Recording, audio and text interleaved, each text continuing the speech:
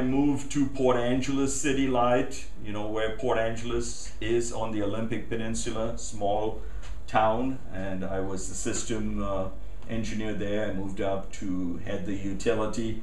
I enjoyed that because I got into operations too and engineering, the practical side of it. Uh, there's always been this dichotomy between uh, engineers and linemen. The linemen think, oh, these engineers are always trying to design things that overkill. And the engineers think, oh, these linemen, they just are not safe enough. They don't use the proper precautions. And so it was nice to be with a small utility where you could try and bridge that gap and say, you know, we are trying to be practical here. So I like the diversity of a small utility. From Port Angeles, I went to Springfield Utility Board in Eugene, Springfield, Oregon. That was a big utility, was a different type of utility. I was the manager of the engineering department, and then I came to Lakeview, a co-op, where it's the utopian type of utility structure. Okay, so locally owned, locally controlled, cost-based power. That's the way it should be. We don't have a lot of regulatory agencies above us. We run it by a governing board that's elected by the members. If they don't like the way it's run, they vote someone else in. Okay, what do I so I like the diversity of my job. I still do some engineering, even though I'm the general manager. I hired an operations individual to move into my position because I couldn't justify having two engineers in our small company. There's only 26 of us in the whole company, and we serve the entire east side of Lakewood, including the industrial park here, which is the fourth largest industrial park in the state. Uh, but we believe in cross training, so we wear many hats. So the diversity I like because I can put my finger on the pulse of just about every job in the company and I'm familiar with what's going on. What I dislike about the job, I mean, no job is perfect, but what I dislike is when you have to terminate someone. Obviously, no one likes that, you know, personnel problems. But I believe in giving everyone a chance. So if someone isn't doing the job, I like to talk to them. Say, okay, this is the areas you're doing well in. These, you know, see some improvements. Specifically, this is what I'm talking about. Now, I'll give you so much time to address that. Is that reasonable? You know, let's talk about it. So we give people enough time, and if they still choose not to work with it, then it's no surprise to them that we need to get someone else to do the job. Talking about that, uh, Dr. Venditti said, What are we looking for when we're hiring people? We're looking for well rounded individuals. Sure, we need people who've had some experience in the job at hand. And sometimes, you know, they're just starting. It's a beginner's level job. How do you get experience? Someone's got to hire you. But I'm also looking for a resume that shows some balance. Community service. Someone who's interested in community service is not all about themselves, and they're more likely to really give to the company. How do we retain them? We retain them by continuing to help them grow. In this day and age, you know, they talk about the cutting edge, the bleeding edge. You've got to stay informed. You've got to stay uh, with technology. You have to grow with it. You have to continue to send your people to training. Otherwise, they're just going to stagnate and the company is going to be hurting that's just like regular life. You got to keep up with the modern technology. And the older that you get, the more you're like, why can't this just stay the same at some point when it keeps advancing? Very, very true. And you know, I, I'd like to draw a parallel from there. It's it's like relationships. You know, we, we're all involved with relationships. But you have to nurture that relationship. it'll never stay the same. It's like getting into a river, you're in a boat, and you can't stay in the same place. The river is flowing. So you'll either be dragged down or you have to make progress upstream.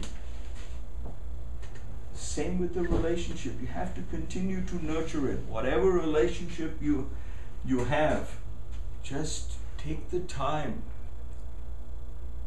to get to know yourself so you can share yourself with the other per- person and get to know the other person. Be clear in your expectations. What is this person bringing to the relationship in your eyes and in their eyes, and vice versa? Have that discussion. What's the first job you ever had? Uh, in India, you don't have a chance to do much uh, when you're going to school because of the high, large population and uh, high unemployment. I think I just had a, a part time job before I joined the seminary, uh, working at a gas station. They had promotional thermoses that they were selling, and, and I did that. But when I came uh, to the States after I chose to leave the seminary because I decided that was not for me, I was too young to know what I wanted.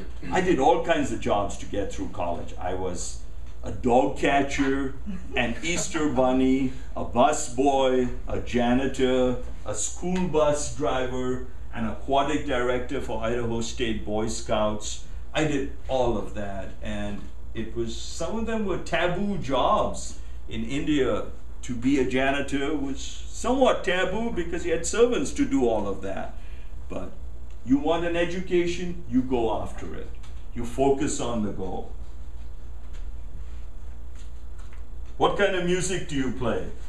Well, you know, I started off with an old guitar that was on the community table in the seminary. It had no strings.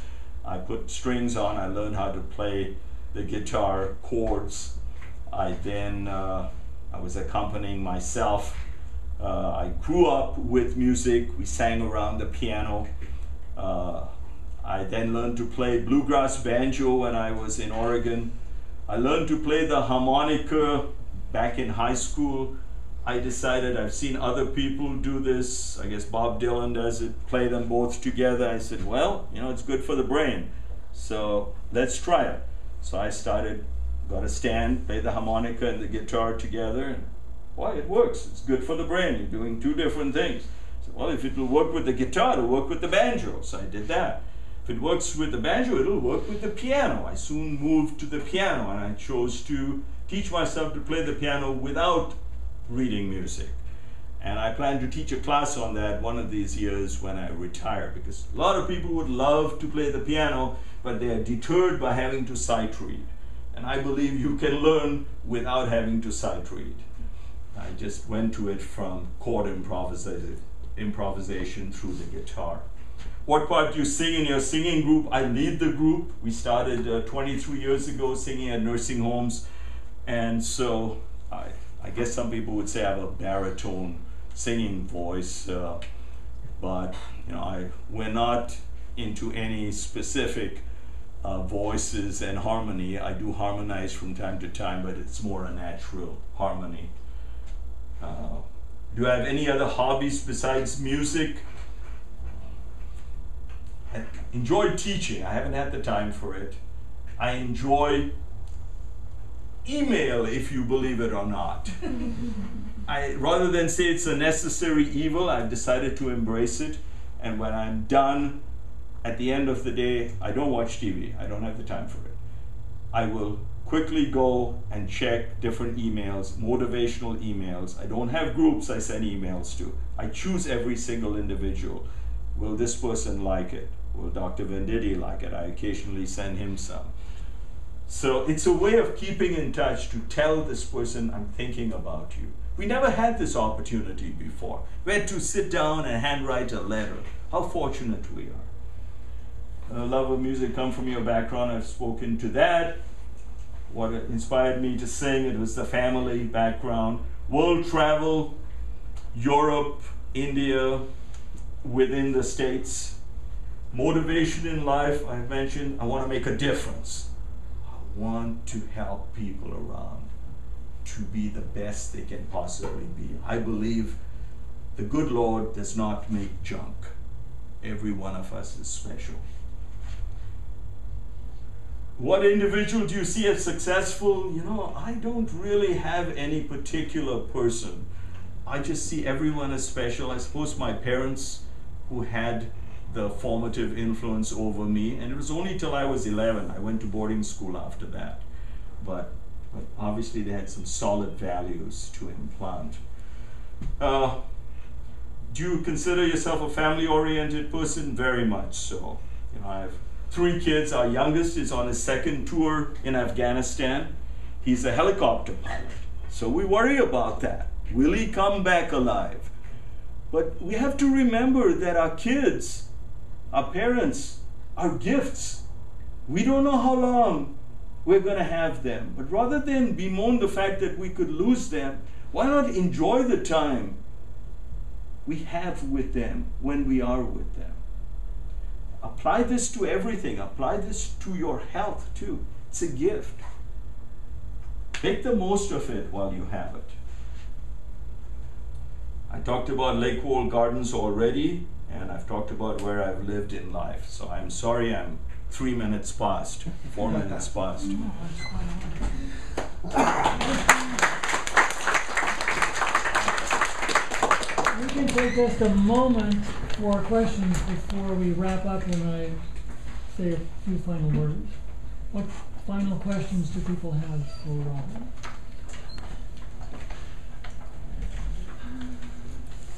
Okay. Okay, I am getting my AA in accounting, and I've been volunteering. Um, I did my intern with the city of Lakewood, but I've been volunteering there since my intern's been up. At Is that- Lakewood? At Lakewood, at the city hall, there in the accounting department. but I was just wondering, so you think that's a good thing to keep doing volunteering until I'm done with school to go look for a job? Definitely, Instead of just- because it gives you immediate feedback on your efforts to get that education. Is this something that you really want to do?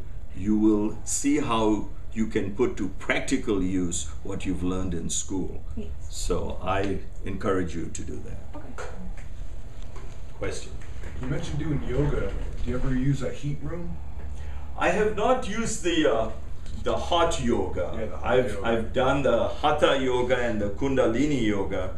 So I do the shoulder stand, the headstand. The headstand I've been doing for about oh 50 years. So, you know, you probably don't think I'm that old, but I will be 65 in 2 months. So I've been doing it since I was 15 and I do the shoulder stand. I do yoga for breathing, for balance, uh, for circulation, for stretching, to stretch the body is to stretch the mind. Flexibility is strength. Absolutely. Yeah. And I alternate, do yoga every day, I do muscle building in between, and then I do aerobics on the other days, both the treadmill and the elliptical. And then I swim if I'm traveling. I love so, swimming. Yeah, that's great. It looks like you're in good shape. Anyone else? It's 12:50, I guess. So thanks again. I appreciate the opportunity. Maybe if you can wait right